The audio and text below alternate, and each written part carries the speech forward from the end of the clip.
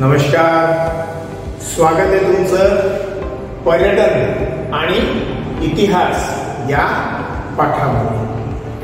पर्यटनासंदर्भातली माहिती आपण जाणून घेत आहोत आणि तुम्हाला आश्चर्य वाटेल की जगातला पहिला युरोपीय पर्यटक जगातला पहिला युरोपीय शोधक प्रवासी पर्यटक म्हणून ज्या व्यक्तीचं नाव घेतलं जातं तो आहे बेंझामिन क्युडेला.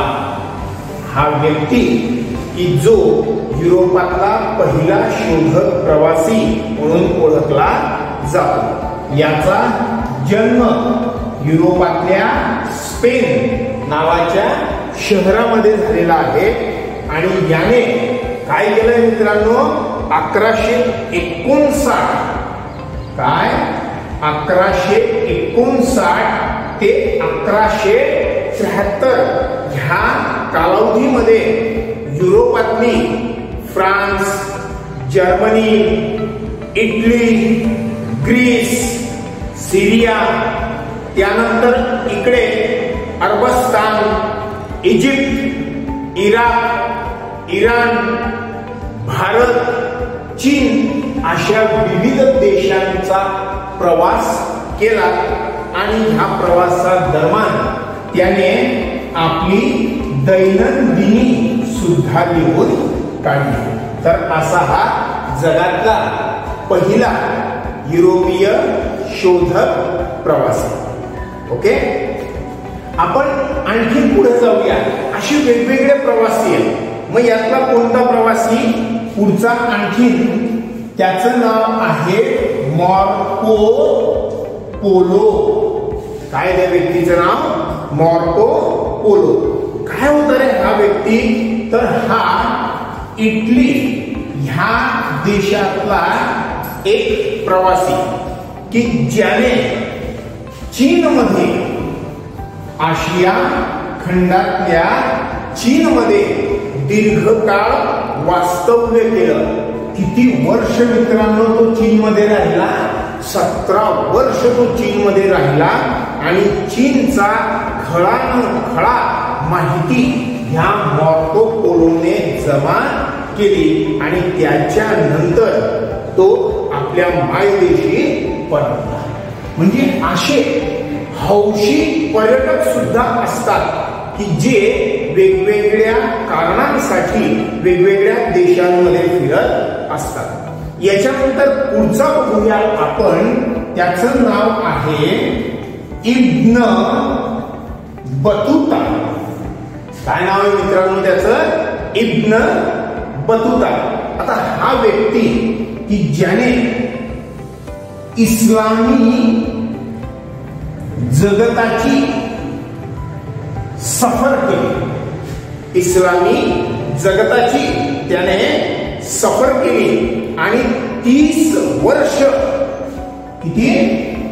तीस वर्ष तो फिरत राहिला. आणि याच्या प्रवासाचं वैशिष्ट्य असं होतं मित्रांनो ज्या मार्गाने हा एकदा गेला त्या मार्गाने हा पुन्हा कधी परतला नाही असं तीस वर्ष हा इब्न बतुका इस्लामी जगताची सफर करत राहिला. बघा ना अशी पण लोक असतात. त्याच्यानंतर गेरहार. गेरहार मर्केटर नावाचा असाच एक प्रवासी ज्याने जगाचा नकाशा जगाचा नकाशा आणि जो आपला पृथ्वी गोल येतो ना तो पृथ्वी गोल आरेखन ह्या व्यक्तीने बनवला आणि आपला पर्यटनाचा आनंद त्याने घेतला. तर असे हे जगभरातले पर्यटक जे वेगवेगळ्या कारणांसाठी काय करत होते? प्रवास करत आलेले होते. कळलं का मित्रांनो तुम्हाला? हा? आता बघा काही गोष्टी अशा असतात की महाराष्ट्रामध्ये एक व्यक्ती आहे विष्णू भट गोडसे नावाचे की ज्यांनी माझा प्रवास नावाचं एक आत्मचरित्र लिहिलेलं आहे. आणि या आत्मचरित्रामध्ये त्याने अठराशे सत्तावन्नच्या उठावामध्ये घडलेल्या घडामोडी आणि अठराशे सत्तावन्नच्या उठावामध्ये सहभागी असलेले योद्धे यांच्या संदर्भात वर्णन केलेलं आहे.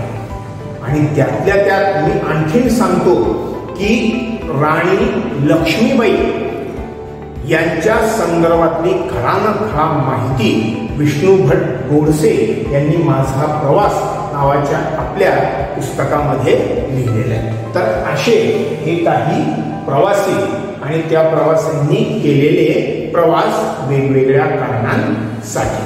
पुढच्या व्हिडिओमध्ये आपण पर्यटनाच्या प्रकारांबद्दल थोडक्यात जाणून घेऊ.